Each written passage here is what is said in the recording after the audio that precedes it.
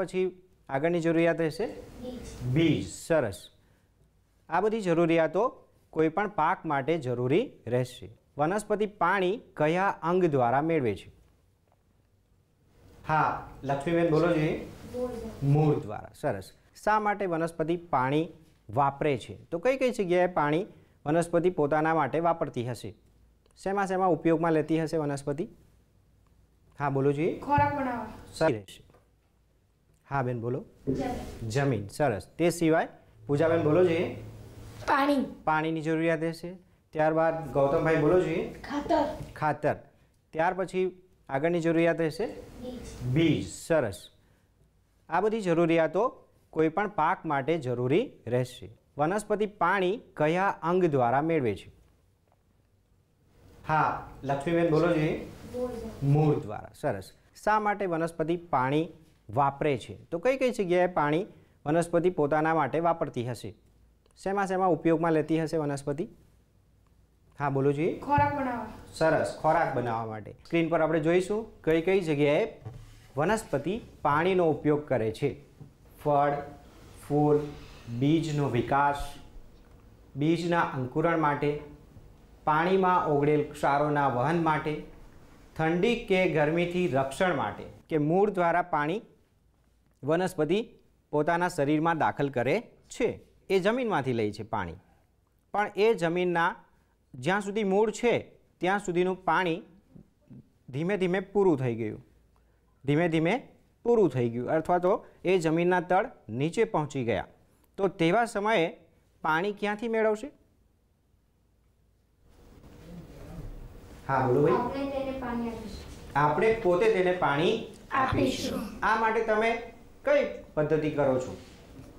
શું કરીને આપણે એને પાણી પહોંચાડીએ છીએ? આવસનભાઈ બોલો છીએ સિંચાઈ પદ્ધતિ. સિંચાઈ પદ્ધતિ. અથવા તો જેને આપણે સાદી ભાષામાં પિયત કહીએ છીએ. પિયત કહીએ છીએ કે પાણી આપવાની પદ્ધતિ.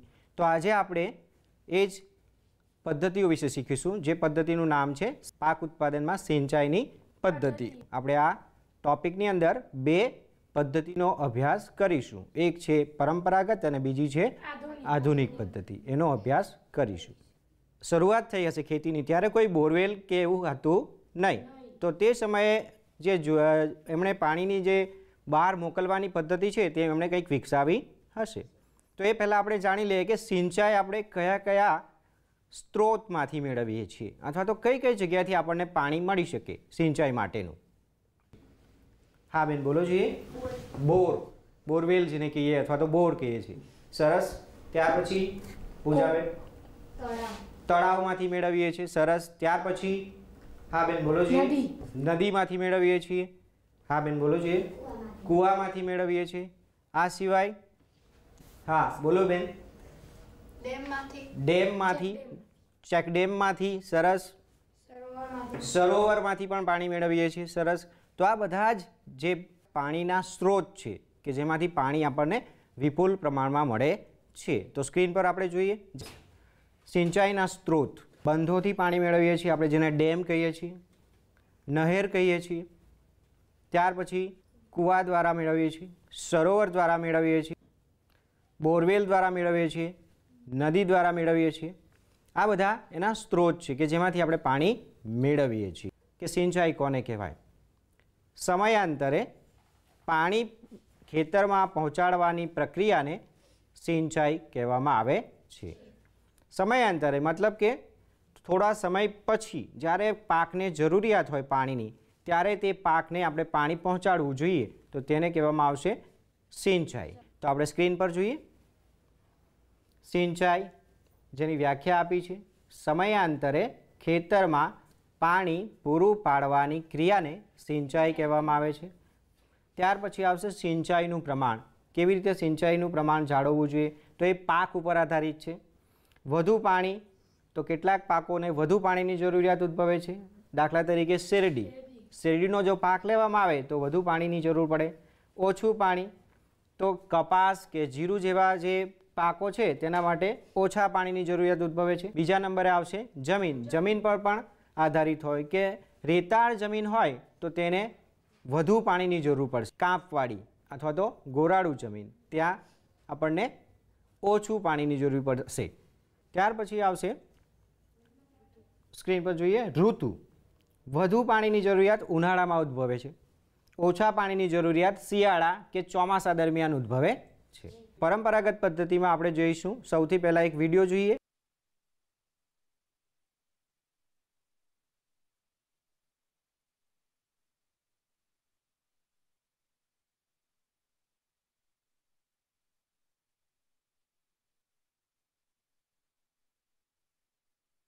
પહેલાંના જમાનામાં લોકો આ ઢેકલી પદ્ધતિથી ઊંડે રહેલું પાણીને ઉપર લાવતા હતા. એક ઉચ્ચાલનનો સિદ્ધાંત છે કે ઉચ્ચાલન વડે પાણીને ઉપર લાવવામાં આવે છે. જો વીડિયો જોઈએ આપણે.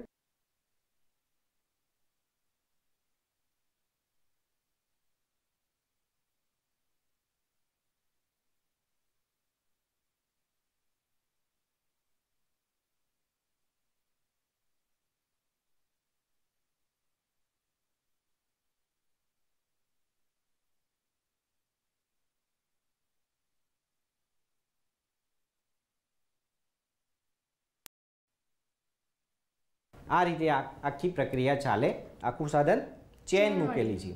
એટલે એ ચેન વડે ચાલે છે. એટલા માટે સાધનનું નામ આપી દીધું છે આપણે ચેન પંપ. એ જૂના જમાનાની પદ્ધતિ છે. જેનું નામ છે ચેન પંપ. હવે આપણે ફરીથી એક ત્રીજો વીડિયો જોઈએ.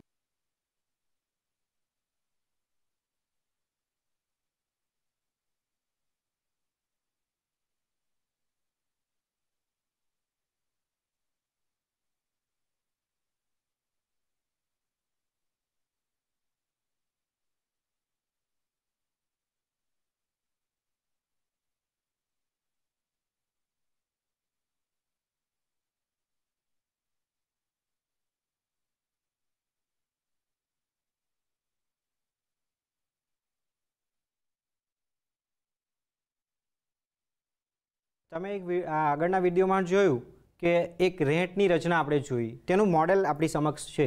એ મોડેલ દ્વારા આપણે સમજીશું કે પાણી કઈ રીતે નીચેથી ઉપર લાવવામાં આવે છે. તમારી સમક્ષ આ એક મોડેલ મૂક્યું છે મેં.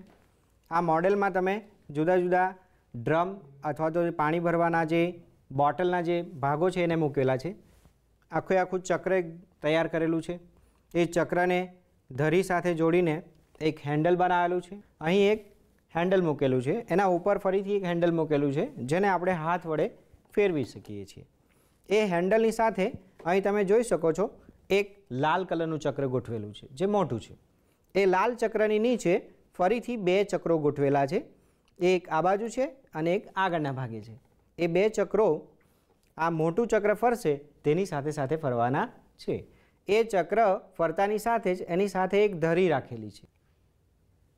તો આપણે અહીંયા એને ફેરવીએ છીએ ધીમે ધીમે ડ્રમને. તો આ હેન્ડલ દ્વારા હું એને ફેરવી રહ્યો છું.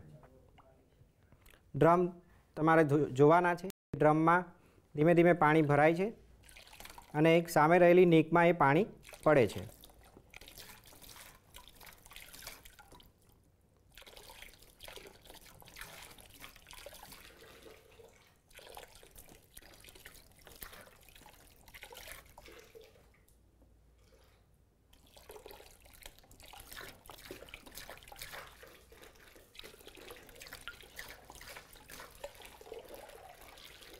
વિદ્યાર્થી મિત્રો? તો આ રીતે જૂના જમાનાના લોકો એક તળાવમાંથી આ રીતે પાણી મેળવતા હતા. હવે આવશે મોટ. એ મોટને આપણે કેવી રીતે ચલાવવાનો છે? એનો વીડિયો જોઈએ આપણે.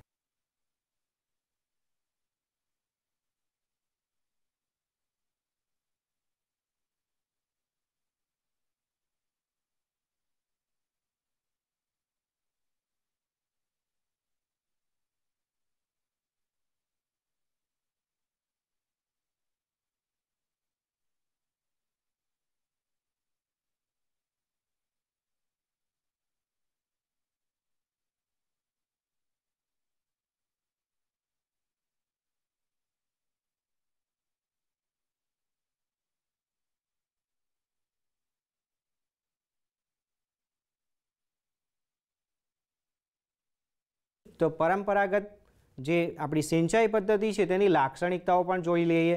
તો સ્ક્રીન પર જોઈએ આપણે કે સિંચાઈની પરંપરાગત રીતોની લાક્ષણિકતા. જેમાં પશુ અથવા તો માણસનો ઉપયોગ થતો હતો. એ સસ્તી હતી, કોઈ પ્રકારનો ખર્ચ લાગતો નથી. આની એક નબળાઈ પણ છે કે એ ઓછી કાર્યક્ષમ. ધીમી છે, છેલ્લું છે પાણીનો બગાડ થાય. ઘણીવાર પાણી ઉપર આવતું હોય અને તે સમયે કેટલું પાણી વેડફાઈ જાય. આવું પણ થાય. એટલે આ એની લાક્ષણિકતા છે. હવે જોઈએ આપણે ત્યાર પછીની આધુનિક પદ્ધતિઓ. અત્યારે આપણી પાસે જુદા જુદા પ્રકારના આધુનિક સિંચાઈના સાધનો છે. તો અત્યારે આપણે જે વાપરીએ છીએ સિંચાઈની પદ્ધતિઓમાં, તેમાં પહેલી છે ફુવારા પદ્ધતિ.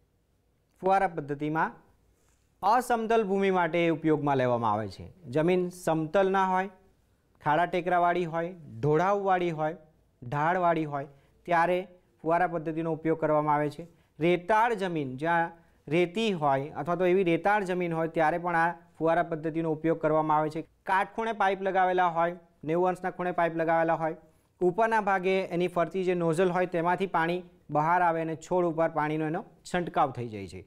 તો આ પદ્ધતિ તમે જોઈ જશે. તો આ ફુવારા પદ્ધતિનો ઉપયોગ ક્યાં ક્યાં થાય? ફુવારા પદ્ધતિનો ઉપયોગ મોટે ભાગે જે ફળ પાકો હોય, ચીકુ છે, આંબાવાડી છે, અથવા તો જે બીજા પાકો લેવામાં આવે, પપૈયા છે, રીંગણ છે, એવા પાકોની અંદર મોટે ભાગે ફુવારા પદ્ધતિનો ઉપયોગ કરવામાં આવે છે. આ ફુવારા પદ્ધતિ ખૂબ જ અગત્યની છે, એક વરદાન રૂપ કહી શકાય. જ્યાં પર્વતીય પ્રદેશો છે, ત્યાં પણ એનો ઉપયોગ કરવામાં આવે છે. હવે આપણે જોઈએ ટપક સિંચાઈ પદ્ધતિ, બીજી પદ્ધતિ.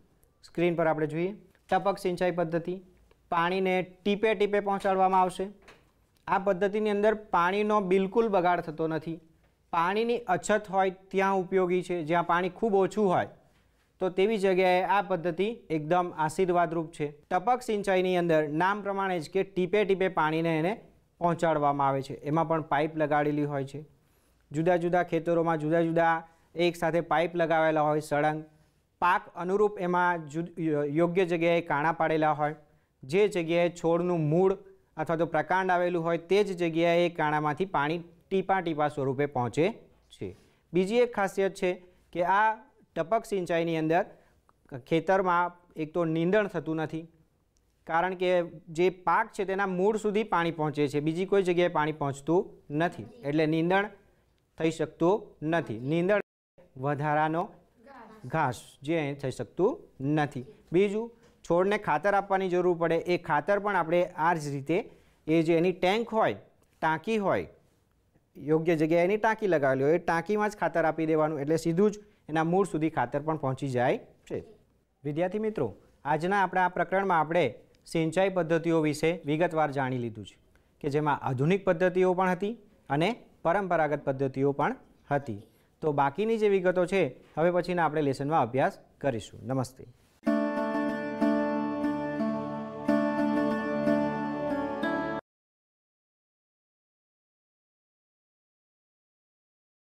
બાળમિત્રો, નમસ્કાર. આપણે ગયા એપિસોડમાં પ્રયોગો જોયા હતા ને, રમકડા જોયા હતા ને, તો આજે આપણે થોડાક વધારે પ્રયોગો જોઈએ, હં. તો એક હું પ્રયોગ બતાવું છું, એ વનસ્પતિનો છે. આ પ્રયોગ છે, એ પ્રયોગ વનસ્પતિ જ્યારે મૂળ વાટે પાણી શોષે છે અને પર્ણમાં આવે એટલે પર્ણ છે એ પોતાના જેટલો ઉપયોગ કરી અને વધારાનું પ્રવાહી બાષ્પોત્સર્જન કરે છે. એટલે વનસ્પતિનું બાષ્પોત્સર્જન આ પ્રયોગ દ્વારા જોવા મળે છે. જુઓ, આ બલ્બ છે, એ બલ્બની નીચે નાની વનસ્પતિ મૂકેલી છે અને વનસ્પતિને આપણે સૂર્યપ્રકાશમાં મૂકી હતી. એટલે એ પોતે પોતાની પાણી રાખ્યું પર્ણોએ, પણ વધારાનું પાણી પર્ણ દ્વારા, પર્ણાંધ્રો દ્વા- દ્વારા એ બલ્બની ઉપર આવી ગઈ. પણ બલ્બમાં બહાર ન નીકળી શકે બાષ્પ, એટલે ઠરી અને પાણીના ટીપા રૂપે દેખાય છે. જો બલ્બની ચારે બાજુ પાણીના ટીપા દેખાય છે અને એ ટીપા એ પર્ણએ કાઢેલા બાષ્પોત્સર્જન છે. હવે હું તમને આ કાઢીને આખો પ્રયોગ બતાવું છું, કેવી રીતે કર્યો છે તે. આ જે છે એ બલ્બ છે. આ બલ્બ છે. આ વીજળીનો આપણે વપરાતો તૂટી ગયેલો બલ્બ છે. અંદરથી આપણે ટંગસ્ટન ધાતુ કાઢી નાખી છે અને એ બલ્બને આ એક નાનો વનસ્પતિનો છોડ લીધો છે. અને આ છોડને આપણે તડકામાં એક કલાક મૂક્યો, પણ મૂકતી વખતે બલ્બને છોડની અંદર લઈ લીધો હતો. એટલે શું થાય? કે બલ્બના જે પર્ણો છે એ વધારાનું પ્રવાહી બહાર કાઢે છે બાષ્પ સ્વરૂપે અને એ બાષ્પ સ્વરૂપે અહીંયા એકઠું થયું કારણ કે બાષ્પ થઈ, પણ પછી આપણે અંદર હલાવ્યા એટલે ઠરી ઠરી એટલે પાણીના ટીપા આપણને જોવા મળે છે. તો વનસ્પતિમાં બાષ્પોસર્જન એ પ્રયોગ આપણે આ જોયો અને આ પ્રયોગ તમે જાતે પણ કરી શકો. એક નાનકડા પ્યાલામાં કે ગ્લાસમાં માટીમાં નાનો છોડ લઈ અને આવો એક મોટો બલ્બ લઈ અને પછી એ બલ્બને વનસ્પતિ અંદર મૂકી દેવાનો. વનસ્પતિનો છોડ સહેજ નાનો લેવાનો અને પછી આ રીતે મૂકી દો એટલે આ પ્રયોગ તૈયાર થઈ જાય. તો આવો પ્રયોગ તમે બનાવશો ને? હવે તો તમે બનાવજો અને સફળતા મળશે જ. ચલો બાળમિત્રો, હવે તમને વનસ્પતિના છોડનો એક બીજો પ્રયોગ બતાવું છું. જુઓ, તમારી સમક્ષ આ એક મોટો બીજો આવો જ બલ્બ છે, બતાવ્યો તો એવો. એ બલ્બ છે ને, એની અંદરથી પણ ટંગસ્ટન ધાતુ કાઢી અંદર રંગીન પાણી ભર્યું છે. અને એની અંદર આપણે વડનો નાનો છોડ મૂક્યો છે. તો એ છોડ કેવો છે એ તમને બતાવું છું કાઢીને, કે આ છોડ છે એ મૂળ સાથેનો છે. એટલે એ મૂળિયા સાથેનો છોડ છે. જો હું તમને બહાર કાઢી અને છોડ બતાવું છું, તો આ એ નીચે એના મૂળિયા દેખાય છે. દેખાય છે ને?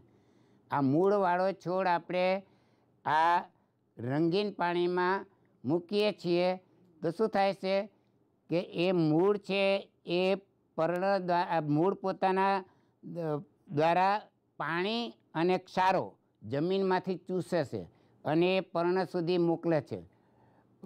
પ્રકાંડમાં થઈ અને પર્ણમાં આવે છે. અને એ પર્ણ એ રહેશે. અને આપણે કદાચ કાપીએ તો વચ્ચેથી આપણને રંગીન પાણીનો ખબર પડે છે. એટલે વનસ્પતિ મૂળ દ્વારા પાણીનું શોષણ કરે છે અને પાણી અને ક્ષારો શોષે છે અને ઉપર ડાળીઓને, પ્રકાંડને અને પર્ણને પાણી અને ખોરાક તરીકે ક્ષારો ખાતરમાંથી મેળવી અને ઉપર પહોંચાડે છે. તો મૂળ દ્વારા આ પાણીનું કેવી રીતે એ પોતે લે છે વનસ્પતિનો છોડ, એ અહીંયા આપણે પ્રયોગ બતાવ્યો. આવો પ્રયોગ તમે પણ કરી શકો. છોડ એવો નથી કે વળનો જ લેવો. ગમે તે છોડ લઈ શકો. મગ, મઠ, કપાસ અથવા તો ગમે તે નાનો છોડ લઈ, પણ મૂળવાળો છોડ લેવાનો, એટલું યાદ રાખવાનું. અને આમાં રંગીન પાણી ભરવાનું. એટલે રંગીન પાણી ભરી અને આ મૂળ છે એ પાણીમાં રહે એ રીતે મૂકી દેવાનું. અને એકાદ દિવસ આપણે મૂકી રાખીએ અથવા તો બે ત્રણ કલાક રાખી મૂકીએ, તો એ પોતે પાણી શોષે તો આ પ્રયોગ પણ આપણે જોયો. હવે આપણે એક ત્રીજો પ્રયોગ જોઈએ. આ મારી પાસે એક સાધન છે.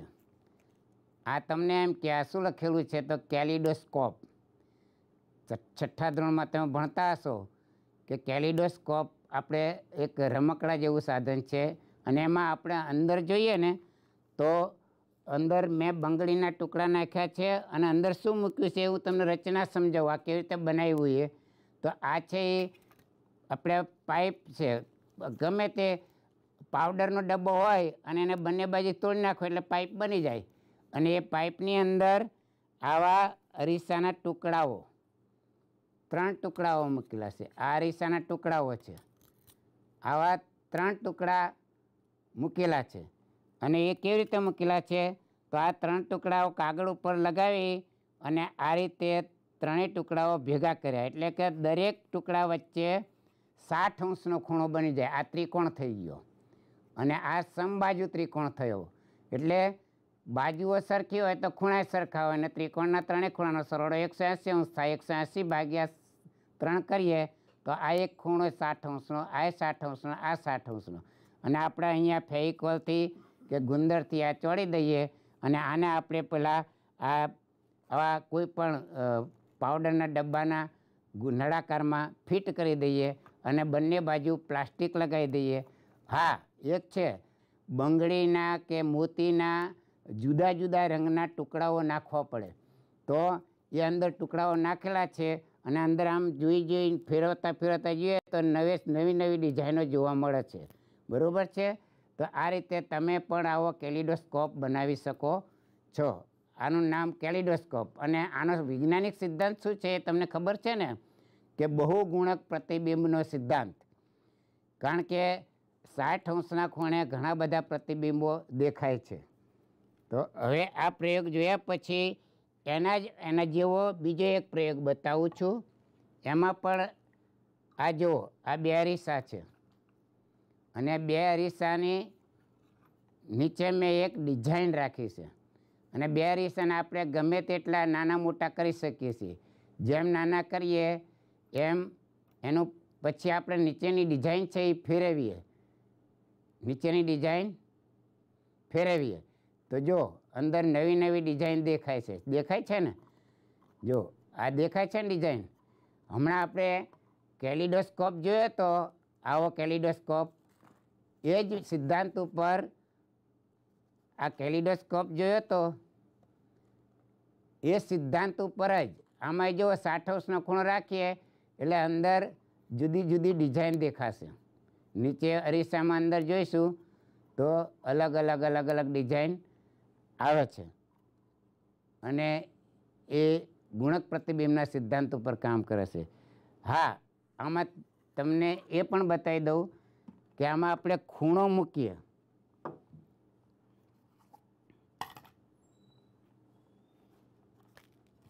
હવે હું તમને એક નવો પ્રયોગ બતાવું છું. એ આપણે ઉચ્ચાલન. ઉચ્ચાલન એટલે તમને ખબર હશે કે સાદું યંત્ર. આપણા ઘરમાં રસોડામાં સાણસી હોય ચીપીઓ હોય, એ પણ સાદું યંત્ર જ છે. તો એવા સાદા યંત્રો કઈ રીતે સરળતાથી કાર્ય કરી શકે છે? એનો ઉચ્ચાલનનો સિદ્ધાંત આપણે સમજવા માટે એક આવું સાધન બનાવવું પડે છે. તો આ સાધનમાં એવું છે, બનાવવું સરળ છે. એક આવું સ્ટેન્ડ બનાવી, હૂક લગાવી અને એક માપપટ્ટી હોય એ માપપટ્ટી ઉપર એક એક ઇંચના અંતરે અથવા તો દસ દસ સેન્ટીમીટરના અંતરે એક એક હૂક બંને બાજુ સરખા હૂક લગાડી દેવાના. અને પછી આપણે અહીંયા જુઓ તમે લખેલું છે આની અંદર કે વચ્ચોવચ્ચ છે એ કેન્દ્ર છે, બરાબર? અને એક બાજુ ભાર લખેલું છે. આ ભાર લખેલું છે. અને એક બાજુ પ્રયત્ન બળ લખેલું છે. બરાબર?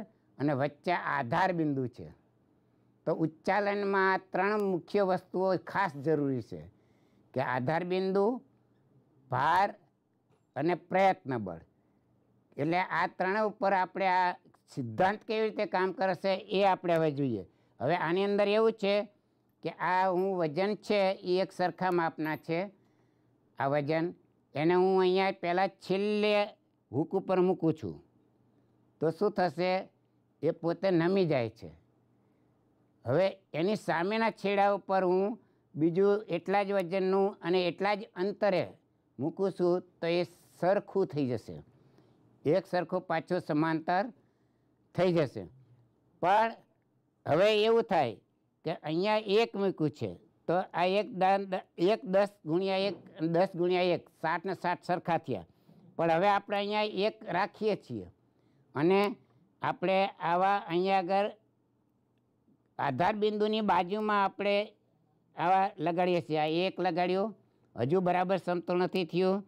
બે લગાડ્યું, તોય સંતોષ નથી થયા. હજુ ત્રણ લગાડ્યા, તોય સમતોલ નથી થતા.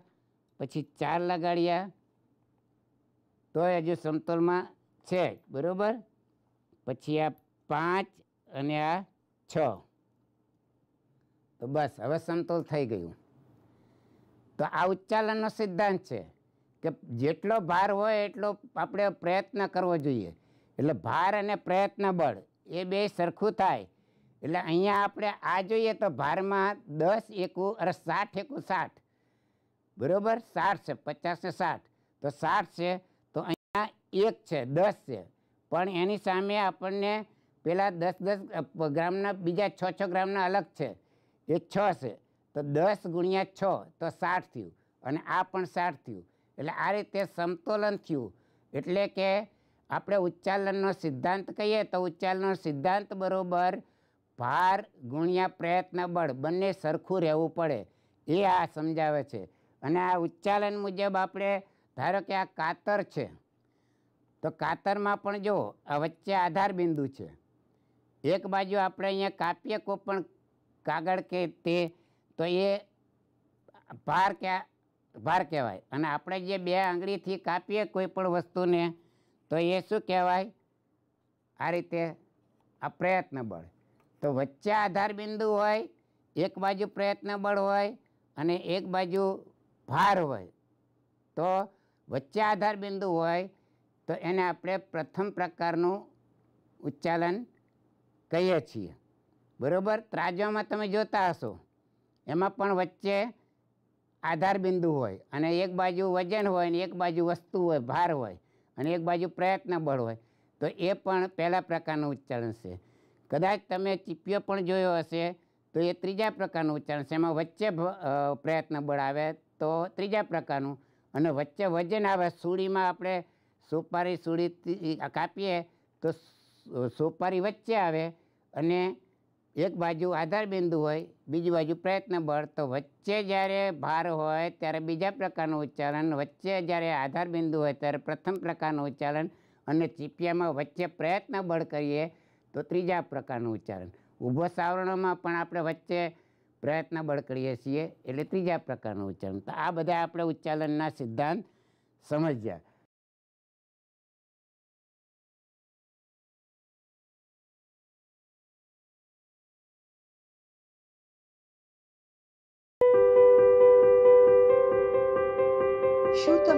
કોવિડ નાઇન્ટીનને યોગ્ય વર્તન કરો છો? શારીરિક સંપર્ક વગર અભિવાદન કરો. જાહેર સ્થળો પર એકબીજાથી ઓછામાં ઓછું એક મીટર જેટલું શારીરિક અંતર જાળવો. ધોઈને પુનઃ ઉપયોગમાં લઈ શકાય તેવા હાથે બનાવેલા મોં ઢાંકણ માસ્કને ઘરની બહાર હોવ ત્યારે સતત પહેરી રાખો. આંખ, નાક તેમજ મોંને અડવાનું ટાળો. શ્વસન તંત્રની સ્વચ્છતા જાળવો અને તે માટે ઉધરસ કે છીંક ખાતી વખતે મોં અને નાકને ઢાંકો. હાથને વારંવાર સાબુથી બરાબર ધોવા અથવા સેનિટાઈઝરનો ઉપયોગ કરો. જાહેર સ્થળોએ થૂકવું નહીં. જાહેર સ્થળે થૂકવું એ દંડનીય ગુનો છે. વારંવાર જે સપાટીને અડતા હોઈએ તેને નિયમિત રીતે સ્વચ્છ તથા જંતુરહિત રાખો. અનિવાર્ય કારણો વગર પ્રવાસ ટાળો. જેમને કોવિડ નાઇન્ટીન થયો હોય તેવા દર્દીઓ તેમની સાર સંભાળ રાખનારાઓ અથવા તો કોવિડ નાઇન્ટીન સામે જજુમી રહેલાઓને મદદ કરનારાઓ સાથે ભેદભાવ ભર્યું વર્તન ન કરો, પરંતુ સરહૃદયતા દાખવો. જે સામાજિક પ્રસંગો ટાળી ન શકાય તેવા હોય, તેમાં મહેમાનોની સંખ્યા શક્ય તેટલી ઓછી રાખો. ભીડ ભાડવાળી જગ્યાએ ન જાઓ. બહુ મોટી સંખ્યામાં ભેગા થવાનું ટાળો.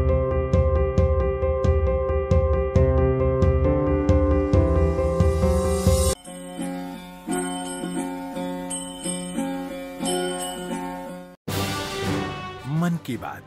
माननीय प्रधानमंत्री श्री नरेंद्र मोदी भारत की जनता से साझा करेंगे अपने मन की बात, रविवार 28 जून, सुबह 11 बजे। आकाशवाणी के सभी केंद्र, सभी चैनल इसे प्रसारित करेंगे एक साथ। इसके अतिरिक्त दूरदर्शन के YouTube चैनल और प्रसार भारती के ऐप न्यूज़ ऑन एआईआर पर सजीव प्रसारण, लाइव स्ट्रीमिंग के माध्यम से। तो याद रखें, रविवार 28 जून, सुबह 11 बजे, मन की बात।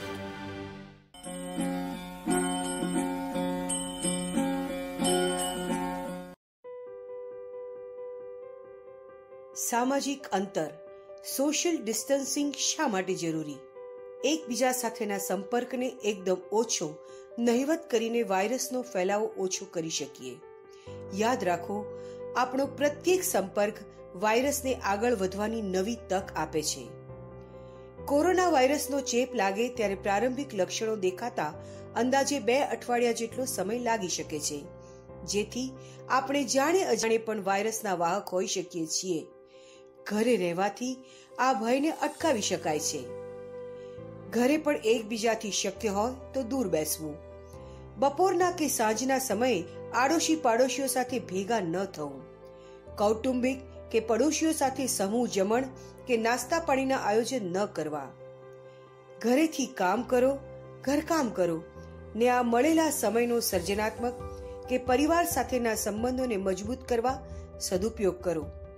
આપણા સૌનું સામાજિક અંતર જ આપણને આ વાયરસથી બચાવશે. જાન હૈ તો જહાન હૈ.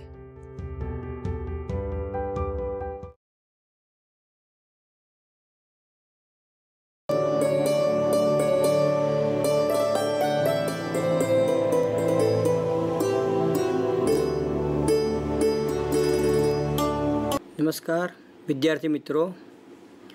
અગાઉ આપણે રસાયણ જ્ઞાનના જે કંઈ પણ ભાગ એકનો અભ્યાસક્રમ છે, એ અભ્યાસક્રમના પ્રથમ એકમની અંદર અત્યાર સુધીના ત્રણ લેક્ચરમાં આપણે જે વિવિધ બાબતો વિશે અભ્યાસ કરી ચૂક્યા છીએ, એનાથી આપણે આગળ એક સ્ટેપ અને એના પછીનું બીજું એક સ્ટેપ આગળ વધી અને આ એકમને અહીં, આ એપિસોડની અંદર આ લેક્ચરમાં આપણે એને પૂર્ણ કરીશું. મિત્રો, સૌપ્રથમ ફરી યાદ કરાવી દઉં તો અગાઉના લેક્ચરમાં આપણે છેલ્લે કોઈપણ સંયોજનમાં રહેલા જે તે તત્વનું દરથી ટકાવાર પ્રમાણ કઈ રીતે નક્કી કરવામાં આવે છે અને જુદા જુદા સંયોજનમાં તત્વોના દરથી ટકાવાર પ્રમાણ સમાન છે કે નહીં એ પ્રમાણસૂચક સૂત્ર પરથી કઈ રીતે જાણી શકાય છે? એના વિશે થોડીક માહિતી મેળવી હતી. તો આ જે મુદ્દો છે, એ મુદ્દાને હું આગળ લઈ જાઉં છું અને અહીંયા આગળ આપણે એ જોવાનું છે કે જે તે સંયોજનમાં આપેલા તત્વોના દરથી ટકાવાર પ્રમાણ ખબર હોય, તો તે સંયોજનનું પ્રમાણસૂચક સૂત્ર અને તેનું આણવીય સૂત્ર કઈ રીતે નક્કી કરી શકાય? તો મિત્રો, સૌપ્રથમ અહીં ટેલિટોપ ઉપર આપણે ધ્યાનમાં લઈએ છીએ કે પ્રમાણસૂચક સૂત્ર કોને કહીશું? તો સંયોજનમાં રહેલા જુદા જુદા પરમાણુઓની પૂર્ણ સંખ્યાનો સરળ ગુણોત્તર એટલે પ્રમાણસૂચક સૂત્ર. જ્યારે સંયોજનના અણુમાં રહેલા જુદા જુદા પ્રકારના પરમાણુઓની નિશ્ચિત અથવા તો ચોક્કસ સંખ્યા દર્શાવતું સૂત્ર એટલે આણવીય સૂત્ર. ધારો કે આપણી પાસે કોઈ એક સંયોજન છે આ સંયોજનમાં મુખ્યત્વે ત્રણ ઘટક તત્વો, કાર્બન, હાઇડ્રોજન અને ક્લોરિન આવેલા છે. હાઇડ્રોજનનું ટકાવા પ્રમાણ ફોર પોઈન્ટ ઝીરો સેવન, કાર્બનનું દરથી ટકાવા પ્રમાણ twenty four point forty seven અને ક્લોરિનનું દરથી ટકાવા પ્રમાણ seventy one point sixty five છે. તો એના પરથી આપણે તે સંયોજનનું પ્રમાણસૂચક સૂત્ર અને આણ્વીય સૂત્ર કઈ રીતે તારવી શકીએ છીએ? તેને આપણે અહીંયા આગળ સમજી લઈએ. તો સૌપ્રથમ દરેક તત્વના દરથી જે ટકાવા પ્રમાણ આપેલા છે તેને તે તત્વના પરમાણુય દળ વડે ભાગી નાખીએ. હાઇડ્રોજનનું પરમાણુય દળ એક, કાર્બનનું પરમાણુય દળ બાર, ક્લોરીનનું પરમાણુય દળ પાંત્રીસ પોઈન્ટ પાંચ વડે ભાગી નાખીએ. એટલે આપણને સાપેક્ષ મૂળ સંખ્યા પ્રાપ્ત થશે.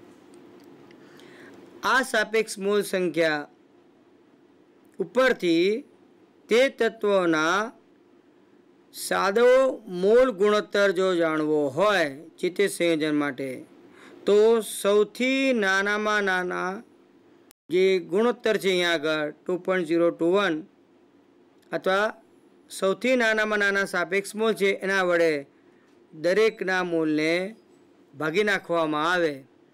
તો આપણને સાદો પૂર્ણ ગુણોત્તર મોલનો પ્રાપ્ત થશે. એ મુજબ અહીંયા આગળ હાઇડ્રોજનના બે મોલ, કાર્બનના એક મોલ અને ક્લોરિનના એક મોલ પ્રાપ્ત થાય છે. કે જે આગળ કીધું મુજબ પૂર્ણ સંખ્યાનો સરળ ગુણોત્તર, એટલે કે પ્રમાણસૂચક સૂત્ર દર્શાવશે. આ ઉપરથી આ સંયોજનનું પ્રમાણસૂચક સૂત્ર C H two C L લખી શકાય. એટલે કે કાર્બનની સંખ્યા એક હાઇડ્રોજનની સંખ્યા બે ક્લોરિનની સંખ્યા એક. જે દર્શાવે છે કે કાર્બન, હાઇડ્રોજન અને ક્લોરિનના મોલનો સાદો ગુણોત્તર એક જેમ બે જેમ એક છે. હવે પ્રમાણસૂચક સૂત્ર પરથી જો આપણે આણવીય સૂત્ર નક્કી કરવું હોય, તો આણવીય સૂત્ર બરાબર પ્રમાણસૂચક સૂત્ર ગુણ્યા એન જ્યાં એન સગુણક જેનું મૂલ્ય નક્કી કરવા માટે તે સંયોજનનું મોલર દળ ને તે સંયોજનના પ્રમાણસૂચક સૂત્ર દળ વડે ભાગી નાખીએ. ધારો કે આપણને આ સંયોજનનું મોલર દર ખબર છે, અઠ્ઠાણું પોઈન્ટ છન્નું. અને તેનું પ્રમાણસૂચક સૂત્ર પરથી દળ કાર્બનનું બાર, હાઇડ્રોજનનું બે, કૌંસમાં એક, વત્તા ક્લોરીનનું પાંત્રીસ પોઈન્ટ પાંચ. સરવાળો કરીએ, એટલે પ્રમાણસૂચક સૂત્રનું દળ આપણને મળશે forty nine point forty eight. તો આ રીતે મળતા પ્રમાણસૂચક સૂત્રના દળને અહીંયા આગળ આ કિંમતમાં મૂકી દઈએ છીએ તો એનું મૂલ્ય ટુ મળશે. આ એનું મૂલ્ય બે મૂકી અને સંયોજનનું આણીય સૂત્ર આપણે નક્કી કરીએ તો એ સૂત્ર મળશે C two H four C L two તો મિત્રો, આ ઉદાહરણ પરથી આપણે કહી શકીએ છીએ કે સંયોજનમાં રહેલા જે તે તત્વના દરથી ટકાવા પ્રમાણ ઉપરથી આપણે તેનું પ્રમાણસૂચક સૂત્ર અને તેના પરથી આણવીય સૂત્ર સરળતાથી નક્કી કરી શકીએ છીએ. તો મિત્રો, અહીં પ્રમાણસૂચક સૂત્ર અને આણવીય સૂત્ર કઈ રીતે નક્કી કરવામાં આવે છે, તેનાથી આપણે માહિતગાર થયા. હવે પછી આગળ બીજો પોઈન્ટ આપણે ધ્યાનમાં લઈએ છીએ અને તે છે રાસાયણિક પ્રક્રિયાની તત્વ યોગમિતીય ગણતરી. રાસાયણિક પ્રક્રિયાની તત્વ યોગમિતીય ગણતરી કઈ રીતે કરવામાં આવે છે એને સમજવા માટે સૌપ્રથમ આપણે એક રાસાયણિક પ્રક્રિયાને ધ્યાનમાં લઈએ. ધારો કે મિથેન વાયુ સી એચ ફોર ગેસનું સંપૂર્ણ દહન કરવામાં આવે એટલે કે ઓક્સિજન સાથે પ્રક્રિયા કરીએ. તો તેમાંથી કાર્બન ડાયોક્સાઇડ વાયુ સીઓ ટુ ગેસ અને એચ ટુઓ ગેસ પ્રાપ્ત થાય છે. મિથેનના ઓક્સિજન સાથેના દહનની પ્રક્રિયાનું આ સમીકરણ એવું દર્શાવે છે કે મિથેન ઓક્સિજન સાથે જે પ્રક્રિયા કરે છે, તે પ્રક્રિયા વાસ્તવમાં કાર્બન ડાયોક્સાઇડ અને પાણી બનવાની પ્રક્રિયા છે. હવે આ પ્રક્રિયા સંપૂર્ણપણે સાચી છે? તો આપણે એમ કહી શકીએ, તો આ પ્રક્રિયા દ્રવ્ય સંચયના નિયમનું પાલન કરતી નથી. દ્રવ્ય સંચયના નિયમ મુજબ, આપેલી પ્રક્રિયામાં બંને બાજુએ દરેક પ્રકારના પરમાણુની સંખ્યા સમાન થવી જરૂરી છે. તો અહીં આપણે જોઈએ તો કાર્બનની સંખ્યા એક, આ બાજુ કાર્બનની સંખ્યા એક છે. હાઇડ્રોજનની સંખ્યા ચાર, અહીંયા આગળ હાઇડ્રોજનની સંખ્યા બે છે, એટલે આ એચ ટુઓ સૂત્રની આગળ સગુણક બે મૂકી દઈએ, તો આપણે એમ કહી શકીએ છીએ કે હાઇડ્રોજન પરમાણુની સંખ્યા બે દુ ચાર, હાઇડ્રોજનની સંખ્યા ચાર સમાન થઈ ગઈ.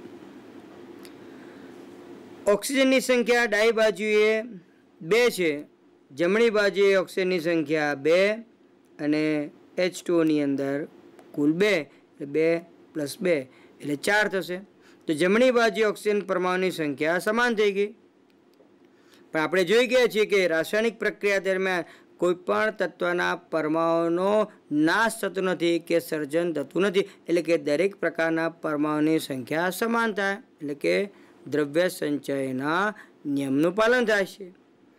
આ બાબતને આપણે આ રીતે અહીંયા આગળ સોલ્વ કરી શકીએ છીએ કે જો ઓક્સિજનના કુલ બે અને બે ચાર પરમાણુ જમણી બાજુ હોય તો ડાબી બાજુએ પણ ચાર પરમાણુ કરવા માટે ઓક્સિજનના સૂત્રની આગળ બે સહગુણક મૂકી દઈએ. તો આ રીતે આપણે આપેલી રાસાયણિક પ્રક્રિયાનું સમતોલન કર્યું છે તેમ કહેવાય અને આ પ્રક્રિયા સમતોલિત છે તેમ કહી શકાય. તો કોઈ પણ રાસાયણિક પ્રક્રિયા, તો કોઈ પણ રાસાયણિક પ્રક્રિયા લખતી વખતે પ્રથમ પ્રક્રિયામાં ભાગ લેતા પદાર્થના સૂત્રો તેની ભૌતિક સ્થિતિને આધારે દર્શાવવા જરૂરી છે. રાસાયણિક પ્રક્રિયાને અંતે પ્રાપ્ત થતા પદાર્થના સૂત્રો પણ તેની ભૌતિક સ્થિતિ સાથે દર્શાવવા જરૂરી છે. સાથે સાથે પ્રક્રિયાની દિશા એટલે કે કઈ દિશામાં પ્રક્રિયા થાય છે? એટલે કે પ્રક્રિયકોમાંથી નિપજો. બનવાની ઘટના જે છે એને આપણે તીરની નિશાની દ્વારા દર્શાવીએ. તીરની નિશાનીની ઉપર કે નીચેના ભાગમાં પ્રક્રિયાને અનુરૂપ તાપમાન, દબાણ, ઉદ્દીપક એટલે કે પ્રક્રિયાની પરિસ્થિતિ પણ લખી શકાય છે. સાથે સાથે બંને બાજુએ એટલે કે ડાબી અને જમણી બાજુએ પ્રક્રિયકો નિપજની સાઈડ દરેક પ્રકારના પરમાણુની સંખ્યા સમાન થવી જોઈએ એટલે કે પ્રક્રિયા સમતોલિત હોવી જોઈએ. જો પ્રક્રિયા સમતોલિત ન હોય તો એને પ્રથમ સમતોલિત કરવા માટે દરેક પદાર્થના સૂત્રની આગળ યોગ્ય સગુણક, પૂર્ણાંક અથવા અપૂર્ણાંક મૂકવાથી પ્રક્રિયા સમતુલિત કરી શકાય છે. હવે પ્રક્રિયા સંતુલિત કર્યા પછી અહીં આગળ આ પ્રક્રિયાને આપણે આ રીતે વાંચી શકીએ છીએ. તો મિથેન વાયુના એક મોલ અહીંયા આગળ આગળ એક સગુણક છે, પણ એક સગુણક આપણે લખતા નથી. એટલે એક મોલ ઓક્સિજન વાયુના બે મોલ સાથે પ્રક્રિયા કરી અને કાર્બન ડાયોક્સાઇડ વાયુનો એક મોલ અને એચ ગેસના બે મોલ આપે છે તેમ કહી શકાય. બીજી રીતે આ પ્રક્રિયાને વાંચવી હોય તો મિથેનનો એક અણુ ઓક્સિજનના બે અણુ સાથે પ્રક્રિયા કરી કાર્બન ડાયોક્સાઇડનો એક અણુ અને એચ ટુઓનો બે અણુ બનાવે છે. અન્ય રીતે આ પ્રક્રિયાને ધ્યાનમાં લઈએ તો એક મોલ મિથેનનું ગ્રામમાં દળ તેના મોલર દળ બરાબર હોય તો મિથેનનું મોલર દળ, કાર્બનનું પરમાણ્ય દળ બાર વત્તા ચાર કૌંસમાં હાઇડ્રોજનનું પરમાણુ દળ એક એટલે સોળ ગ્રામ થશે. એ જ રીતે ઓક્સિજનના એક મોલ અણુનું દળ, તેના આણ્વીય દળ, મોલર દળ, બત્રીસ ગ્રામ, તો બે મોલનું દળ બત્રીસ દુ ચોસઠ, એટલે હું અહીંયા આગળ બત્રીસ ગુણ્યા બે ગ્રામ લખું છું. એ જ રીતે કાર્બન ડાયોક્સાઇડના એક મોલનું દળ, તેના મોલર દળ, એટલે કે આણવીય દળ જેટલું થાય, તો એને આપણે લખીએ ચુમ્માલીસ ગ્રામ. અને એચ ના બે મોલ, એક મોલનું આણવીય દળ અથવા એક મોલનું દળ, તેના મોલર દળ અથવા આણ્વીય દળ બરાબર, એટલે કે અઢાર ગ્રામ છે, તો બે મોલનું અઢાર દો છત્રીસ ગ્રામ થશે. તો દ્રવ્ય સંચયના નિયમ મુજબ પ્રક્રિયકોનો કુલ જથ્થો આપણે લઈએ. તો બત્રીસ દુ ચોસઠ વત્તા સોળ. તો ટોટલ થશે ચોસઠ ને છ, સિત્તેર સિત્તેર ને દસ, એંસી ગ્રામ. ત્યારે નિપજનું કુલ દળ આપણે ધ્યાનમાં લઈએ. તો છ ને ચાર દસ અને ચાર ને ત્રણ સાત ને એક આઠ એટલે એંસી ગ્રામ દળ પ્રાપ્ત થાય છે. એટલે કે પ્રક્રિયા દરમિયાન દ્રવ્યનો નાશ થતો નથી કે દ્રવ્યનું સર્જન થતું નથી. હજુ આપણે આગળ વિચારીએ તો વાયુરૂપ પદાર્થ એસટીપીએ લેવામાં આવે. એસટીપી એટલે કે સ્ટાન્ડર્ડ ટેમ્પરેચર એન્ડ પ્રેશર તો એક મોલ વાયરૂપ પદાર્થનું એસટીપીએ કદ બાવીસ પોઈન્ટ સાત લીટર હોય છે એટલે અહીંયા આગળ હું એસટીપીએ આ પદાર્થ એક મોલ જથ્થાને અનુરૂપ બાવીસ પોઈન્ટ સાત લીટર કદ ધરાવે છે, એટલે કે મિથેનનું બાવીસ પોઈન્ટ સાત લીટર કદ લઈએ તો ઓક્સિજનના બે મોલ જથ્થાને અનુરૂપ તેનું કદ બે ગુણ્યા બાવીસ પોઈન્ટ સાત લીટર એસટીપીએ લઈ શકાય. તો કાર્બન ડાયોક્સાઇડનો એક મોલનું એસટીપીએ કદ બાવીસ પોઈન્ટ સાત લીટર થશે.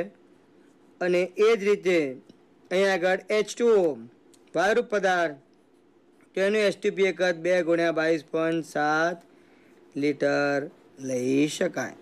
તો આ રીતે પ્રક્રિયામાં ભાગ લેતા વાયુ પદાર્થોને એસટીપીએ તેના કદ સાથે સાંકળીને પણ તેમની વચ્ચેનો સંબંધ દર્શાવી શકાય છે.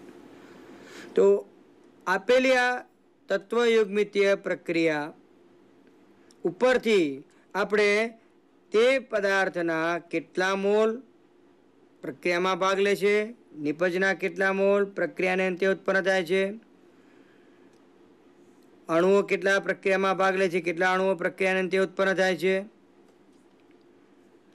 દ્રષ્ટિએ કેટલા ગ્રામ પ્રક્રિયકો વચ્ચે પ્રક્રિયા થઈ, કેટલા ગ્રામ નિપજ પ્રાપ્ત થાય છે અને એસટીપીએ કદની દ્રષ્ટિએ પણ પ્રક્રિયકો વચ્ચે પ્રક્રિયા થઈ નિપજ કેટલા પ્રમાણમાં ઉત્પન્ન થાય છે, એટલે કે તેનું કદ કેટલું પ્રાપ્ત થાય છે તે આપણે સરળતાથી ગણતરી દ્વારા નક્કી કરી શકીએ. આ ગણતરીને પ્રક્રિયાની તત્વ યોગમિત્ય ગણતરી કહે છે. હવે આના પરથી માની લો કે એવો પ્રશ્ન પૂછવામાં આવ્યો? કે ચાર પોઈન્ટ ચાર ગ્રામ કાર્બન ડાયોક્સાઇડ વાયુ ઉત્પન્ન કરવા માટે કેટલા ગ્રામ મિથેન અને કેટલા મોલ ઓક્સિજનની જરૂર પડશે?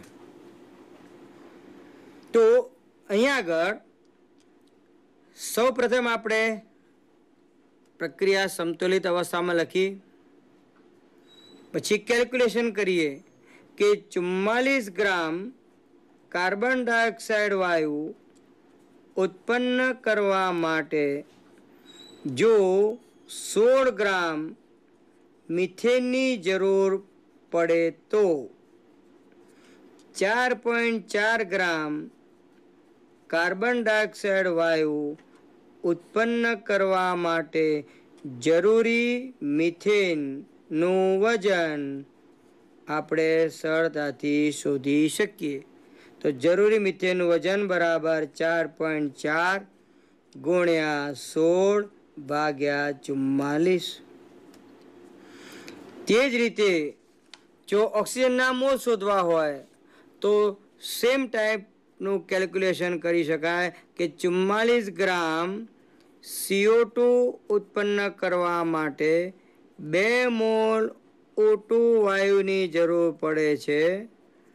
માટે ચાર પોઈન્ટ ચાર ગ્રામ સીઓ ટુ ઉત્પન્ન કરવા માટે કેટલા મોલ ઓક્સિજનની જરૂર પડશે? તો આ રીતે આપણે રાસાયણિક પ્રક્રિયાના સમતોલિત સમીકરણ ઉપરથી પ્રક્રિયકોના જથ્થાને અનુરૂપ નિપજનો કેટલો જથ્થો મળશે અથવા નિપજનો યોગ્ય જથ્થો મેળવવા માટે પ્રક્રિયકો કેટલા પ્રમાણમાં જરૂરી બનશે તેમ આપણે કહી શકીએ.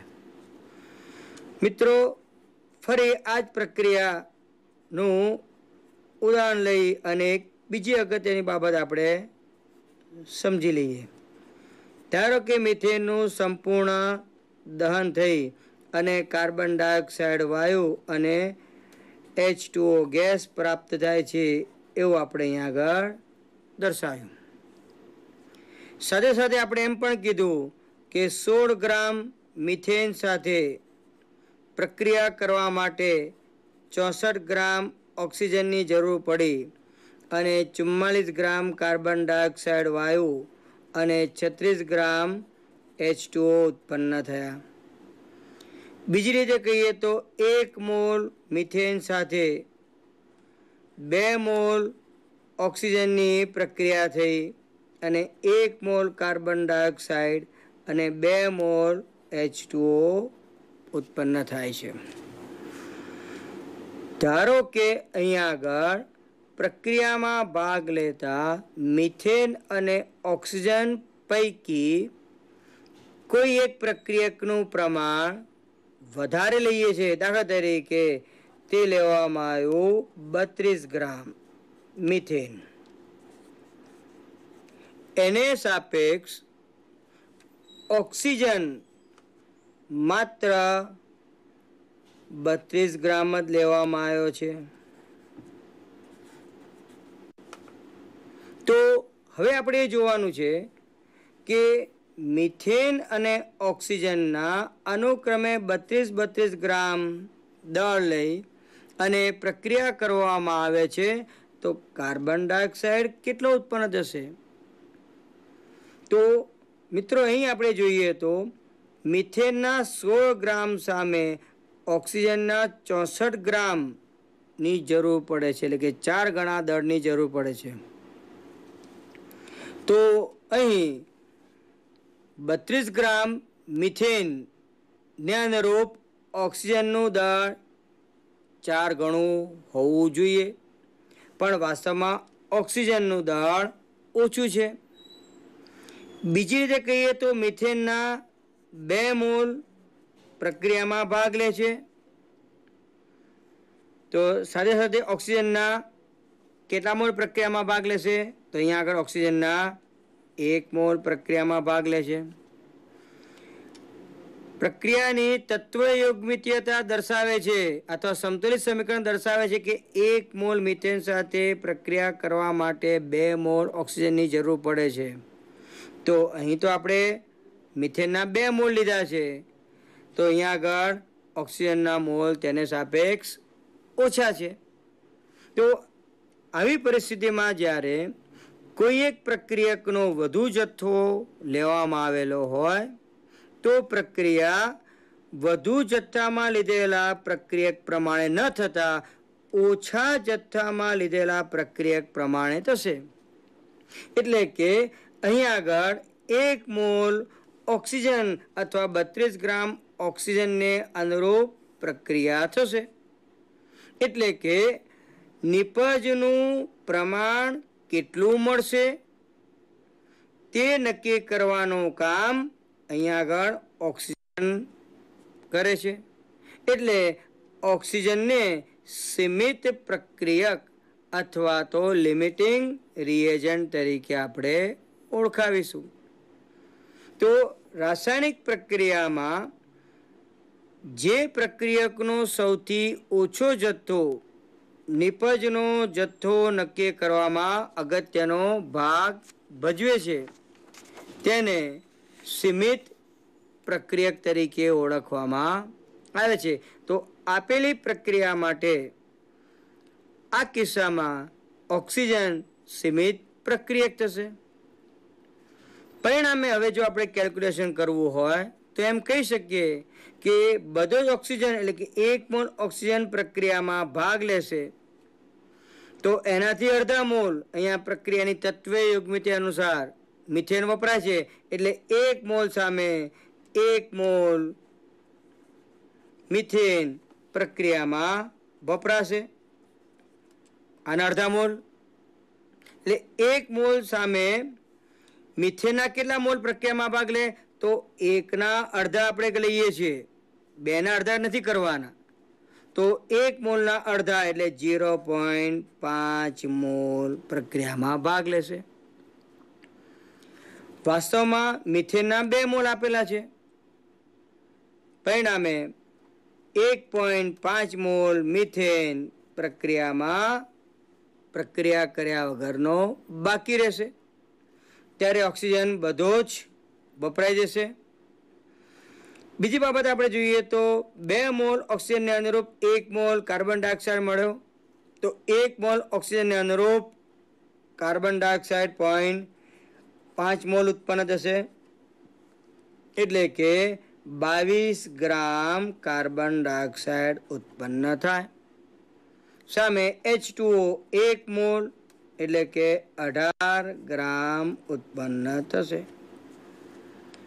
આમ સીમિત પ્રક્રિયક વડે નિપજનો કેટલો જથ્થો પ્રાપ્ત થશે તે આપણે તત્વીય યોગમિત્ય ગણતરી ઉપરથી સરળતાથી નક્કી કરી શકીએ છીએ. હવે મિત્રો, બીજી બાબત અહીંયા આગળ ધ્યાનમાં લઈએ છીએ. ઘણી વખત એવું પણ બને છે કે રાસાયણિક પ્રક્રિયામાં ભાગ લેતો પ્રક્રિયક દ્રાવણ સ્વરૂપમાં હોય. તો દ્રાવણ સ્વરૂપમાં પ્રક્રિયક પ્રક્રિયામાં ભાગ લેતો જોવા મળે છે. તો આ પરિસ્થિતિમાં તે પ્રક્રિયકનો જથ્થો દ્રાવણમાં કેટલો છે એ દર્શાવવું જરૂરી છે, જેને દ્રાવણની સાંદ્રતા તરીકે ઓળખવામાં આવે છે. એટલે કે જ્યારે રાસાયણિક પ્રક્રિયામાં ભાગ લેતા પ્રક્રિયકો દ્રાવણ સ્વરૂપમાં હોય તો આ પ્રક્રિયકોનો જથ્થો તે દ્રાવણની સાંદ્રતા દ્વારા નિર્દેશિત થતા હોય છે. અને દ્રાવણની સાંદ્રતા અલગ અલગ પદ્ધતિ દ્વારા અથવા તો અલગ અલગ રીતે દર્શાવી શકાય છે. અને દ્રાવણની સાંદ્રતા મુખ્યત્વે દ્રાવણના કદ ઉપર આધારિત હોઈ શકે છે. અથવા તો દ્રાવણના દળ ઉપર આધારિત પણ હોઈ શકે છે. તો અહીં સૌપ્રથમ દળ ઉપર આધારિત દ્રાવણની સાંદ્રતા દર્શાવવા માટેની જે અલગ અલગ પદ્ધતિ છે, એમાંને પહેલી પદ્ધતિની વાત કરીએ તો એ છે દળ ટકાવારી. બીજી રીતે કહીએ તો પર્સન્ટેજ ડબલ્યુ બાય ડબલ્યુ એટલે કે, ઉદાહરણ તરીકે અહીંયા લઈએ, ધારો કે આપણી પાસે પાંચસો ગ્રામ એનએઓએચનું જલીય દ્રાવણ છે. અને આ જલીય દ્રાવણ, પાંચસો ગ્રામ એનએચનું જલીય દ્રાવણ ધારો કે વીસ ગ્રામ એનએચ ધરાવે છે. તો પ્રશ્ન એ થાય કે આ દ્રાવણમાં એનએચ દ્રાવ્ય પદાર્થનું ટકાવાર પ્રમાણ દરથી કેટલું હશે? તો અહીં આગળ એનએચનું ટકાવાર પ્રમાણ આપણે જો શોધવું હોય એટલે કે પર્સન્ટેજ ડબલ્યુ બાય ડબલ્યુ આપણે શોધવા હોય. તો દ્રાવ્યનું દળ વીસ ગ્રામ ગુણ્યા સો ભાગ્યા દ્રાવણનું દળ પાંચસો લઈએ. તેના પરથી આપણને એનએચની જે તે દ્રાવણમાં દસ ટકાવારી કેટલી છે તે આપણને જાણવા મળશે. મિત્રો, અહીં એક અગત્યની બાબત ધ્યાનમાં લઈ લઈએ છીએ કે જ્યારે દ્રાવણ શબ્દ બોલીએ છીએ ત્યારે અગાઉ આ જે એકમની અંદર આપણે જોઈ ગયા છીએ તે મુજબ બે કે તેથી વધારે શુદ્ધ પદાર્થોને ભેગા કરવાથી બનતું એકરૂપ મિશ્રણ જેને દ્રાવણ કહેવાય. તો આ રીતે એકરૂપ જે મિશ્રણ બન્યું, એને આપણે સમાંગ મિશ્રણ પણ આગળ ઓળખી ચૂક્યા છીએ. જેને બીજા શબ્દમાં ત્રાવણ પણ આપણે નામ આપી ચૂક્યા છીએ. જો કોઈ પદાર્થનું દ્રાવણ પાણીમાં બનાવવામાં આવે તો તેને જલીય દ્રાવણ કહેવાય. સાથે સાથે દ્રાવણની અંદર જો બે ઘટક આવેલા હોય, તો તેને બાયનરી દ્રાવણ કહેવાય છે. જો દ્રાવણની અંદર ત્રણ ઘટક પદાર્થો આવેલા હોય, તો એને પ્રાઇમરી દ્રાવણ તરીકે ઓળખવામાં આવે છે.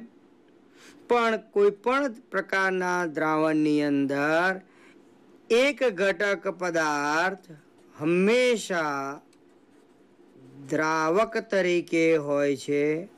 અને અન્ય ઘટક પદાર્થ અથવા પદાર્થો એ દ્રાવ્ય સ્વરૂપે હોય છે. તો આ બાબત આપણે ખાસ કાળજીપૂર્વક યાદ રાખી દઈશું.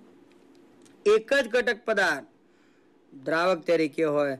જ્યારે અન્ય ઘટક પદાર્થ અથવા પદાર્થો દ્રાવ્ય તરીકે હોય છે. એટલે દ્રાવક વત્તા દ્રાવ્ય એટલે દ્રાવણ બને છે તેમ કહેવાય. તો મિત્રો અહીં દર ટકાવારી અથવા પર્સન્ટેજ ડબલ્યુ બાય ડબલ્યુ જ્યારે આપણે નક્કી કરીએ છીએ ત્યારે આપણી પાસે દ્રાવણનું દળ અને તેમાં રહેલા દ્રાવ્યનું દળ જો હશે તો આપણે સરળતાથી પર્સન્ટેજ ડબલ્યુ બાય ડબલ્યુ આ રીતે શોધી શકીએ.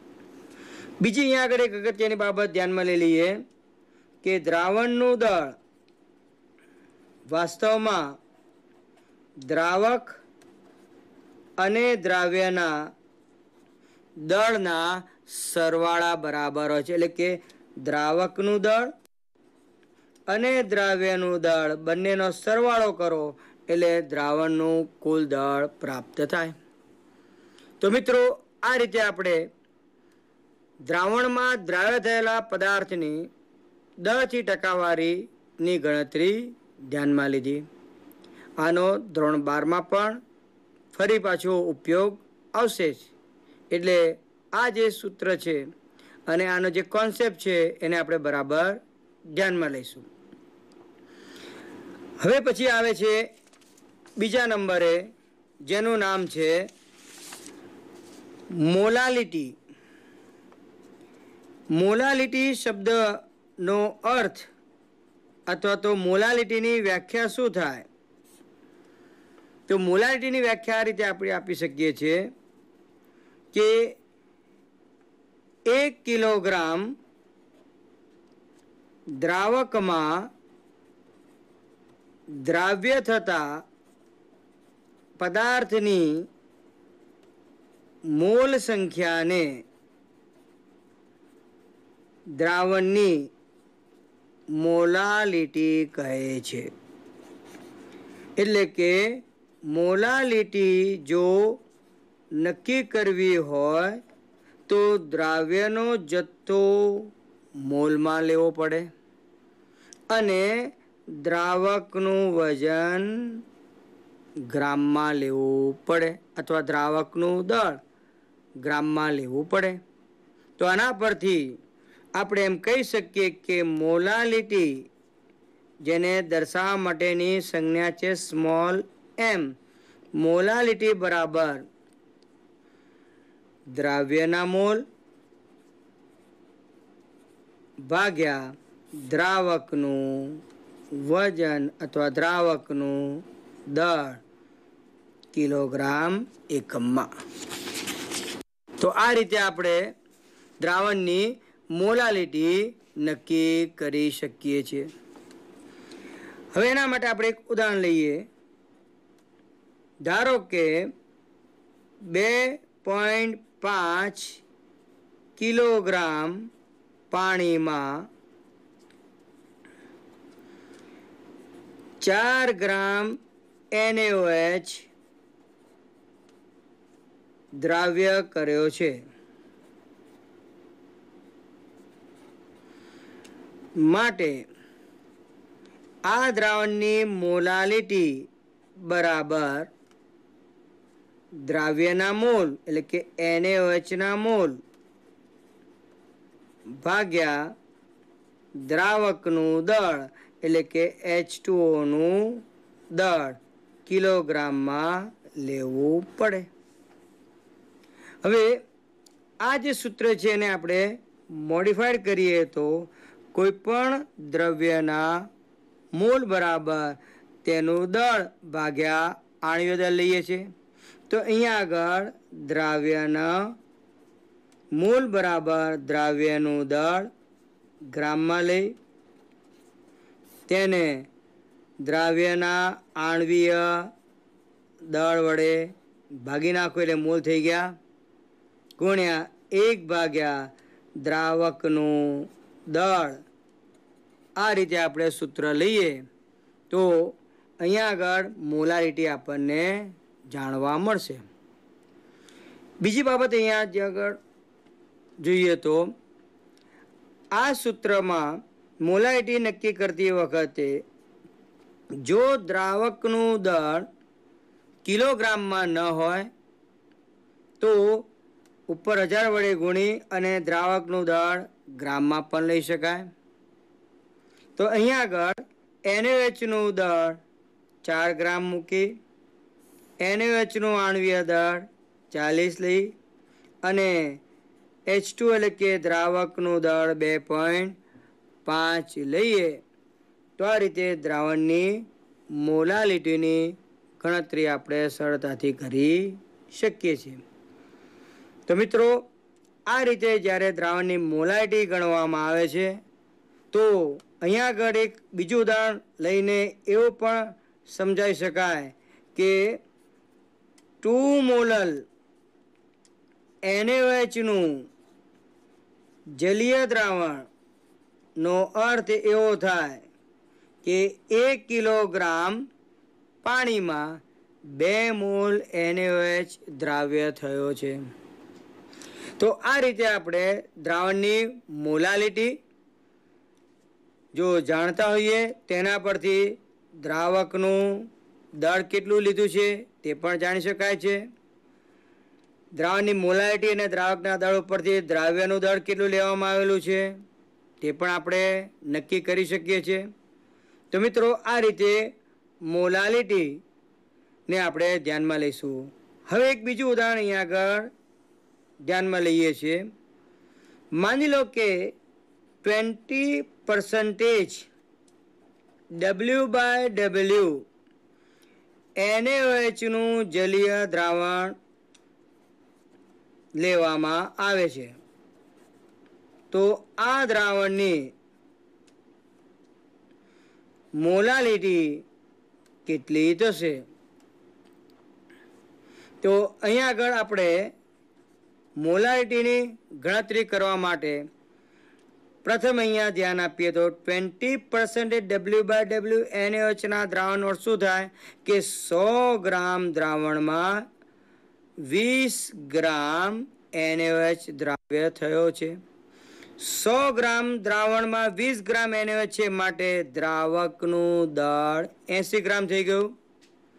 તો મોલાલિટી બરાબર દ્રાવ્યનું દળ વીસ ભાગ્યા તેનું આણવીય દળ ચાલીસ ગુણ્યા દ્રાવકનું દળ એંસી ગ્રામમાં થયું તો એને ઉપર હજાર વડે ગુણી નાખીએ એટલે કિલોગ્રામમાં થઈ ગયો. તો આ રીતે આપણે આ દ્રાવણની મોલાલિટીની ગણતરી કરી શકીએ છીએ. તો મિત્રો દ્રાવણના પર્સન્ટેજ ડબલ્યુ બાય ડબલ્યુ એટલે કે દરથી ટકા ખબર હોય, તેના પરથી મોલાલિટી શોધી શકાય અને મોલાલિટી ઉપરથી દરથી ટકા પણ આપણે નક્કી કરી શકીએ છીએ. આ ઉપરાંત આ જ એક્ઝામ્પલમાં આગળ આપણે ત્રીજા પ્રકારની ગણતરી ધ્યાનમાં લઈએ છીએ અને એનું નામ છે મોલ અંશ. અંશ એટલે ભાગ. હમણાં જે ઉદાહરણ લઈ ગયા, એની જ વાત કરું તો twenty percentage W by W એનએચના જલીય દ્રાવણ નો અર્થ આપણે એવો કાઢ્યો કે સો ગ્રામ દ્રાવણમાં વીસ ગ્રામ એનએચ છે એટલે કે એંસી ગ્રામ પાણીમાં વીસ ગ્રામ દ્રાવ્ય, એટલે કે NaOH દ્રાવ્ય થયો. એટલે એંસી ગ્રામ એચ ટુઓ દ્રાવક અને વીસ ગ્રામ NaOH દ્રાવ્ય છે. પરિણામ સ્વરૂપ, જો મારે એચ ટુઓના મોલ, એટલે કે દ્રાવકના મોલ શોધવા હોય તો એંસી ભાગ્યા અઢાર કરું. કારણ કે દળ ભાગ્યા આણવીય દળ અથવા મોલર દળ. એ જ રીતે એનએચના મોલ બરાબર મને પ્રાપ્ત થશે વીસ એનું દળ ભાગ્યા મોલર દળ અથવા આણવીય દળ. આ રીતે દ્રાવણમાં રહેલા એચ એટલે કે દ્રાવકના મોલ અને દ્રાવ્યના મોલ મળી ગયા. માટે દ્રાવણના કુલ મોલ જો આપણે શોધવા હોય, તો દ્રાવણના કુલ મોલ બરાબર દ્રાવકના મોલ વત્તા દ્રાવ્યના મોલ એટલે કે દ્રાવક અને દ્રાવ્યના મોલનો સરવાળો કરવો પડે. તો મિત્રો, અહીં દ્રાવણના કુલ મોલમાં દ્રાવકના મોલનો હિસ્સો એટલે કે ભાગ કેટલો? અથવા દ્રાવ્યના મોલનો ભાગ કેટલો? એને કહેવાય મોલ અંશ. એટલે કે જો આપણે કોઈ દ્રાવણમાં રહેલા દ્રાવકના મોલને કેપિટલ એન અને દ્રાવ્યના મોલને સ્મોલ એન દ્વારા દર્શાવીએ તો દ્રાવણના કુલ મોલ બરાબર થશે capital N plus small N તેના પરથી જો આપણે દ્રાવકના મોલ અંશ એક્સ વન શોધવા હોય તો જે તે ઘટકના મોલ અંશ, અહીંયા આગળ આપણે એક્સ વન દ્રાવક માટે વાપર્યું છે એટલે કે દ્રાવકના મોલ અંશ લીધા. તો દ્રાવકના મોલ અંશ એક્સ વન બરાબર. દ્રાવકના મોલ ભાગ્યા કુલ મોલ. અને એ જ રીતે દ્રાવ્યના મોલ અંશ. જો આપણે લઈએ તો એ થશે એક્સ ટુ બરાબર દ્રાવ્યના મોલ ભાગ્યા કુલ મોલ. તો આ રીતે આપણે આ બે સૂત્ર અહીંયા આગળ દર્શાવી શકીએ. તો આપેલા ઉદાહરણમાં એનએચ અને એચ ટુઓના મોલ નક્કી કર્યા પછી આ સૂત્રની મદદથી આપણે જે તે દ્રાવક એચ ટુઓ અને દ્રાવ્ય એનએચના મોલ અંશ શોધી શકીએ. સાથે સાથે અહીંયા આગળ એક બાબત ખાસ નોંધ કરી દઈશું કે દ્રાવણમાં રહેલા દ્રાવકના મૂળાંશ અને દ્રાવ્યના મૂળાંશનો સરવાળો હંમેશા એક થતો હોય છે. જ્યારે બીજી બાબત ધ્યાનમાં લઈએ તો દ્રાવકના મૂળાંશ અને દ્રાવ્યના મૂળ અંશનો ગુણોત્તર હંમેશા દ્રાવ્ય દ્રાવકના મોલ ભાગ્યા દ્રાવ્યના મોલ બરાબર થતો હોય છે. એટલે કે બે ઘટકોના મોલ ગુણોત્તર, તે બે ઘટકોના મોલ ગુણોત્તર બરાબર હોય છે.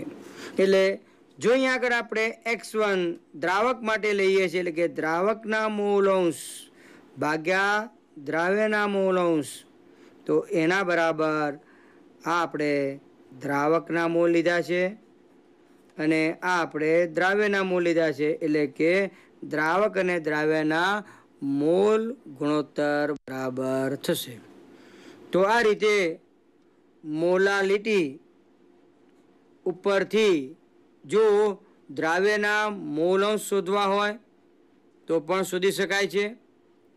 દાખલા તરીકે ટુ મોલલ એનએચના જલીય દ્રાવણ, એકવીસ એનએચ એટલે કે એનએચના જલીય દ્રાવણમાં એનએચના મૂળ અંશ શોધવા હોય તો આપણે આ રીતે શોધી શકીએ.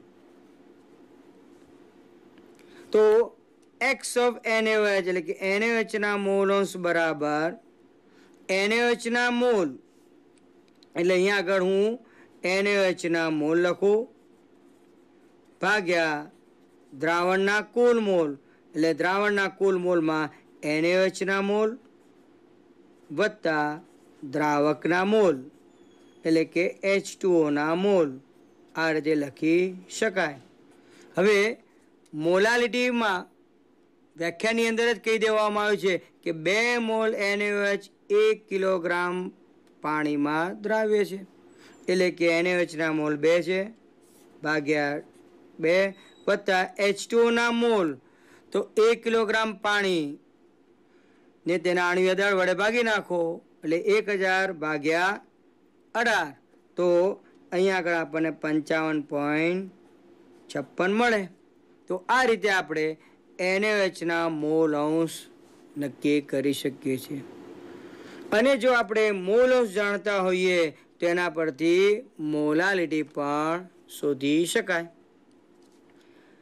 હવે પછી ચોથા પ્રકારની જે સાંદ્રતા દર્શાવવા માટેની રીત આવે છે, જેને આપણે કહીશું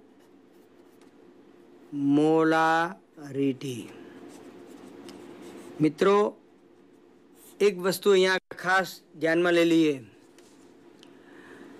દ્રાવણની સાંદ્રતા દર્શાવવા માટેની જે અલગ અલગ પદ્ધતિઓ છે. એમાંની કેટલીક પદ્ધતિ દ્રાવણના કદ ઉપર આધારિત છે, જ્યારે કેટલીક પદ્ધતિ દળ પર આધારિત છે. તો અગાઉ જે આપણે ત્રણ પદ્ધતિ જોઈ ગયા, એ દ્રાવણના દળ પર આધારિત છે. જ્યારે મોલારિટી એ દ્રાવણના મુખ્યત્વે કદ ઉપર આધારિત છે. તો આ જે મોલારિટી છે, એ મોલારિટીની વ્યાખ્યા અહીંયા આગળ કહીએ તો, નિયત તાપમાને એક લીટર દ્રાવણમાં દ્રાવ્ય થયેલા પદાર્થની મોલ સંખ્યાને દ્રાવણની મોલાલિટી કહે, મોલારિટી કહે છે. તો દ્રાવણની મોલારિટીની આ રીતે વ્યાખ્યા આપી શકાય. દ્રાવણની મોલારિટી એમ બરાબર દ્રાવ્યના મોલ ભાગ્યા દ્રાવણનું કદ, કે જે આપણે લેટરમાં લઈશું. અથવા બીજી રીતે આ સૂત્રને મોડિફાય કરીને લખવું હોય, તો દ્રાવ્યનું દળ જે ગ્રામમાં લેવામાં આવે, ભાગ્યા દ્રાવ્યનું આણવીય દળ ગુણ્યા દ્રાવણનું કદ, જે આપણે લીટરમાં લઈએ. અને એથી એને આગળ જો મોડિફાય કરીને લખવું હોય, તો દ્રાવ્યનું દળ ગ્રામમાં ગુણ્યા એક હજાર ભાગ્યા આણવીય દળ દ્રાવ્યનું ગુણ્યા દ્રાવણનું કદ મિલીલીટર એકમમાં લઈ શકાય. જો આપણી પાસે ટુ મોલર એનએચનું જલીય દ્રાવણ છે, એમ આપણે કહીએ. તો આ દ્રાવણનો અર્થ થશે, એક લીટર દ્રાવણમાં બે મોલ એનએચ દ્રાવ્ય થયો છે. તો આ રીતે મોલારિટીની જે વ્યાખ્યા છે, એ વ્યાખ્યા ઉપરથી આપણે આ દ્રાવણ માટે અર્થઘટન કરી શકીએ. ધારો કે એવો પ્રશ્ન પૂછવામાં આવ્યો છે કે ઝીરો પોઈન્ટ ફાઈવ મોલર એનએચનું પાંચસો મિલીલીટર દ્રાવણ બનાવવું હોય, તો પાંચસો મિલીલીટર દ્રાવણ કેટલા ગ્રામ એનએચ ધરાવતું હશે? તો આ કેલ્ક્યુલેશન કરવા માટે આપણે આ જ સૂત્રનો ઉપયોગ કરી અને સરળતાથી ગણતરી કરી શકીએ છીએ. તો અહીંયા આગળ આ જે સૂત્ર છે, એ સૂત્રનો ઉપયોગ કરતી વખતે ખાસ આપણે ધ્યાનમાં લઈશું કે એનએચનું આણવીય દળ અહીંયા આગળ આપણે જે ચાલીસ લઈએ છીએ, એમાં કેટલીક વખત જો વિદ્યાર્થી ભૂલમાં આગળ જ્યારે સપ્રમાણતાની ગણતરી આવશે અને એ વખતે તુલ્ય દળ સૂત્રમાં આવતું હોય છે. બાકીની બધી જ બાબત એક સરખી છે.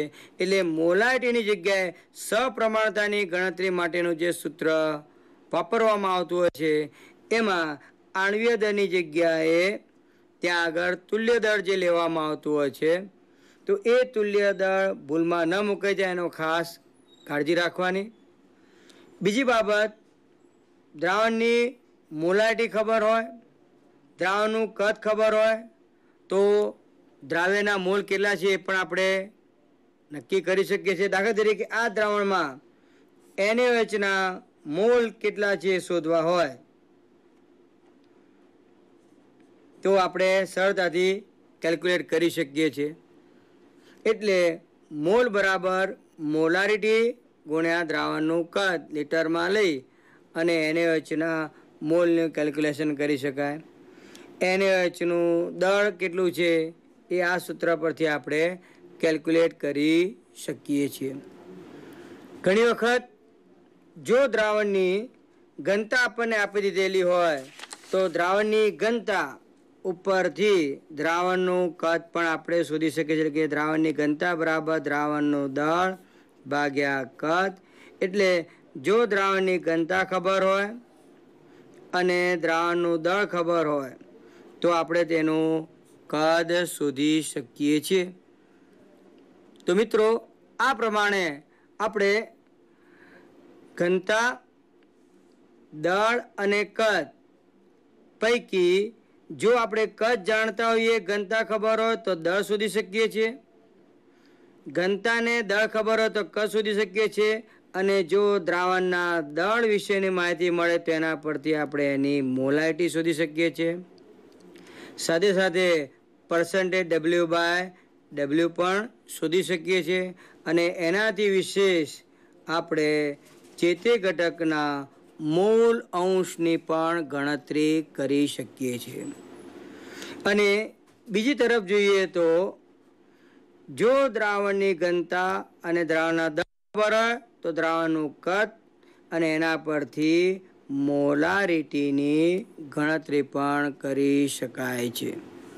તો મિત્રો, દ્રાવણના દળ પર આધારિત દ્રાવણની સાંદ્રતા દર્શાવવાની જે પદ્ધતિ છે, ત્રણ અલગ અલગ રીત છે અને દ્રાવણના કદ પર આધારિત દ્રાવણની સાંદ્રતા દર્શાવવા માટેની જે પદ્ધતિ છે, એ બંનેને એકબીજા સાથે સાંકળવું હોય તો ઘનતા દ્વારા આપણે સાંકળી શકીએ છીએ. તો અહીં આ રીતે આપણે જે અત્યાર સુધી આ પહેલા એકમની અંદર રાસાયણિક પ્રક્રિયાઓના સંદર્ભમાં જે તત્વયુગમિત્ય ગણતરી કઈ રીતે કરવામાં આવે છે? રાસાયણિક પ્રક્રિયામાં ભાગ લેતા પ્રક્રિયકો દ્રાવણ સ્વરૂપમાં હોય તો આ પ્રક્રિયકોની સાંદ્રતા એટલે કે દ્રાવણની સાંદ્રતા ઉપરથી પ્રક્રિયકો કેટલા પ્રમાણમાં દ્રાવ્ય થયેલા છે? પછી એ દળના પ્રમાણમાં હોય કે મોલના પ્રમાણમાં હોય? તે તમામ કેલ્ક્યુલેશન આપણે સરળતાથી કરી શકીએ છીએ. અને ખાસ કરીને રાસાયણિક પ્રક્રિયામાં ભાગ લેતા આ પ્રક્રિયકોના દ્રાવણની સાંદ્રતા ઉપરથી તેમાં રહેલો દ્રવ્યનો જથ્થો એને બીજા પ્રક્રિયક સાથે સાંકળીને પણ નિપજ કેટલા પ્રમાણમાં ઉત્પન્ન થશે અથવા નિપજ જરૂરી પ્રમાણમાં ઉત્પન્ન કરવા માટે જે તે પ્રક્રિયકના દ્રાવણનું કેટલું કદ જોઈશે, નિશ્ચિત સાંદ્રતા ધરાવતું અથવા તો દ્રાવણના યોગ્ય કદને અનુરૂપ તેની સાંદ્રતા કેટલી હોવી જોઈએ, આ તમામ પ્રકારની ગણતરી આપણે આ મુદ્દા ઉપરથી સરળતાથી કરી શકીએ છીએ.